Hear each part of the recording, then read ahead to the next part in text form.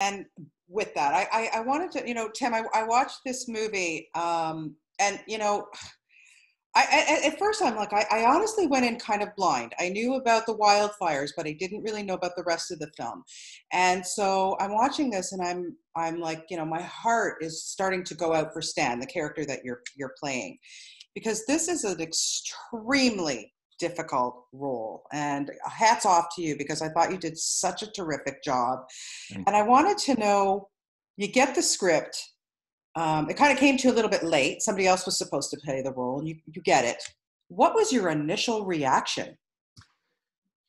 So, my initial reaction was, um, and for folks who haven't seen it, it deals with an incredibly challenging uh, subject area, um, yeah. which was uh, frankly a little terrifying. Yeah. Um, and the, but also as an actor, that's kind of great. You know, that's when you know you're not just going to phone something in. You're like you're in new territory and it's scary. And I often think that's a yeah. really good sign. For sure. I, I also responded because I thought the script was compelling. I didn't know where it was going. Uh, I think, like you just mentioned, it takes a sharp turn that surprises you. Um, and that was really interesting to me. But as you said, it was, you know, I think I read the script and the next morning I was on a, on, I live in upstate New York, so mm-hmm. a series of three flights um, to get to Peachland in, in BC. Um, and uh, it was crazy and fast. Yeah. I can I can imagine. And then once you started to develop him and get to know Stan a little bit better, I wanted to know if you had any time to do any kind of research to, for people who you know have been through this or psychologically how you get through a role like this. You know. Yeah, um, I have a good, good friend who is a, a really great uh, psychiatrist in uh, Austin, Texas, mm. and I called him and I said, "Help me," because you know you you want to honor these people. Right. You want to. You don't want to be uh, cartoonish or characterish. I mean, you know, you you, you want to be honorable about it. Um, and uh, the the suffering seems real to me. And mm-hmm. um, you know, part of what you do as an actor is you work with your imagination and try and imagine what certain things would feel like. But I was able to do some of that. I actually, uh, not right away, but later met the actual man I played, who it's based on a real thing. So yes. that was kind of fascinating. But also, the director grew up um, best friends with the, the son of the man the story's about. So he really knew him and was able to talk to me and had done extensive research um, and frankly, as as you, you, you probably noticed, that the depth of emotional kind of pain the guy goes into. Yeah. Um, I didn't have any ability to sort of judge whether I was being completely over the top or not, or and you have to really trust a director to mm-hmm. to to guide you because if I'm trying to keep an eye on that, I can't do both jobs at the same time. So no, of course. Yeah, no, 100%. Of course, you have to direct, you know, Andrew, such a great director. I mean, his first film, like, you know, what, was it, Norwegian or something? Like, like it wasn't even in English. It, it, he's so, they, I, the other, that I get to this Peachland place, right? Yeah. And I had not seen Andrew's first movie, Violent, at that point. And I get there and I meet Andrew, who's uh, a young man. And then I meet one of the producers who's his brother. Yeah. And then I meet the the director of photography, who's a good friend of his, and the production designer who's in a band. And I thought, oh God, this is going to be terrible. This is like a some weird group of friends, and I'm making this movie about this crazy. But they're all kind of geniuses. I mean, that's the, that's the thing I eventually got to. Yeah panicked moment and and now i mean i'd go anywhere ever for no money for anything to work with any of them again. Yeah. extraordinary, extraordinary. yeah what, i was going to say what what an experience that ha- this had to have been for you. And when when you start to get to know this character a little bit better and and everything i mean ultimately this story it's not just about what he did it's not just about the fires. I mean there's a lot going on in this in this film. He's got a lot the weight of the world on his shoulders pretty much when you think about it but you think about his family and his wife and that's to me a big part of this story because god forbid if something like that had happened to me i would have been like there's the door and close it real fast have a nice life. Yeah, you know, I think that the story of the wife is really where a lot of the dramatic tension is carried in this thing. What is yeah. she going to do? And I actually have a friend in real life who went through a very similar situation and decided, I'm going to stay, uh, I'm going to do this. And I think Chelah Horsdal does an incredible job uh, playing Gail, who's my character's wife. And, yeah. and Chelah actually was the one who told them to hire me. So I'm I'm grateful to her on that. Uh, were, were, you friends, or did she just know you from from acting, or? Chayla and I did a TV series in Calgary called Hell on Wheels that was right. a western, um, and weirdly. We were talking the other day, and we we both realized we'd never acted together. I don't think we might have had some scene. We never said anything to each other. I, I don't remember, but we we never had anything. And then this one we had a ton and yeah. she was also doing man of high man in high uh, castle, man in the high castle great show wow at the same yeah. time and was going back it was so cra- it was the craziest thank god andrew and those guys are as good as they are and had, uh, got it all together, you know, and, yeah, and kept it kept yeah. going. Yeah, it's it's uh, wow, it's it, it is a really riveting film, and it, it has a lot to say. Uh, there's a scene that you that you have in this film, Tim, that I can't get the images out of my head. You're mm. probably going to know what I'm talking about when he runs to the forest, and you're you know you're almost tripping down, and then you kind of cover yourself in ash, and you're just so vulnerable. Like I mean. How did you get through something like that? Where do you where do you go as an actor to play to do something like that? Um, oof.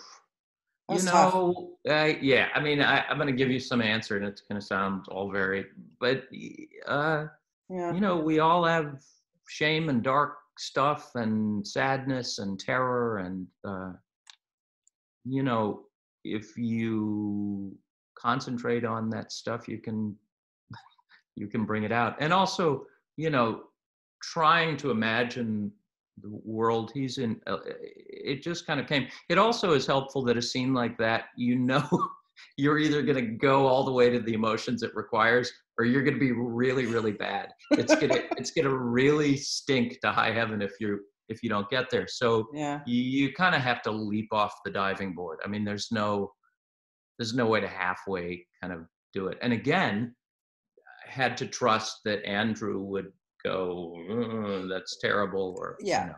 Yeah, yeah, no, no, eh, so so good. At the end of the shoot, or at the end, you know, when you would, went home and you were done, like the first thing you didn't want to just hug your family. I think the first thing I wanted to do was sleep. I mean, it was so funny. We worked so hard, and there were crazy things. You know, this film, um, which takes place in a town where there are wildfires around it. Yes. And that was that year in 2017 when a lightning storm went across BC. Mm-hmm. I think it started 160 wildfires in one night. Yeah. And so a day or two into filming, the woods just burst into flame uh, all around Peachland, and we, you know, were going up into fire zones and shooting, and and um, we worked really. I mean, by the end of this movie, I remember going, like being surprised that it was over. There was sort of no way to to be clear. We were all in a kind of tunnel vision. Um, yeah. So I think I wanted to sleep, and and I I wanted to see my family. I'm sure. To, yeah, it makes you think about your own family. I would think playing a role like this, playing a person who who was supported by his his wife and everything, and it just has to make you think. Yeah. Yeah. Yeah, yeah. and you know the movie in I think the movie is largely a love story. I mean, yeah. I think you know there's these folks are going through, but it's really about how they and um, also it's maybe a long goodbye, depending on how the the end yeah. of the movie turns out. Um, For sure. So thinking about all of that stuff, I missed home. I missed Yeah. everything. Oh, I, I, I'm sure. You know, I, I I have to tell you, like, I'm such a big fan of yours. You, you're in so many. You, you, your TV credits are insane. Like, it's so much stuff. Good on you. You know, but I have to tell you, Homeland for me was one. It's one of my top ten film uh, shows ever. Like, I just that show. There was one season I remember, like when Saul was kidnapped, and that whole season. Uh, anyway, being on a show like that and working with the caliber of actors that you got to work with on that show. Like, talk about a gift from God. Seriously. I have to tell you, we and when that show ended, it's it's very hard not to. It's funny, Hell on Wheels. I felt this. I I really feel it with Ash, but also with Homeland. You just want to beg all those people to keep hiring you, you know. And it's very sad. You get very pathetic because Yeah. as an actor, you don't have a steady gig, you know. And when you love people and love the work, you're crazy work.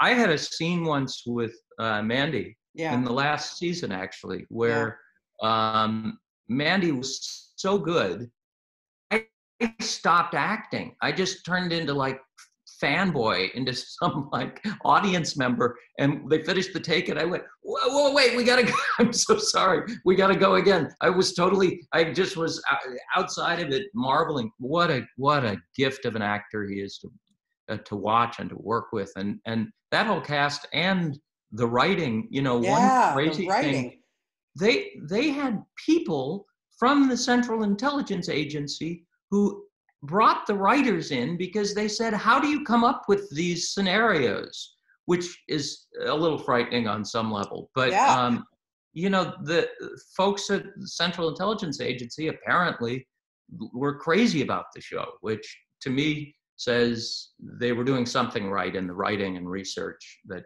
uh, they that it it sparked some kind of recognition Yeah. in those people. Yeah. No. The, I- were you happy with how it ended?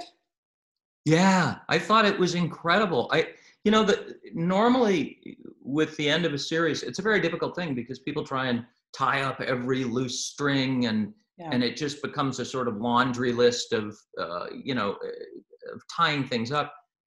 They managed to do that and have 15 or 20 minutes early, um, as you, uh, 15 or 20 minutes left, that they just turned into this yeah. kind of character study of of the two lead uh, actors uh, Yeah. characters and i just thought it was beautiful i was Yeah.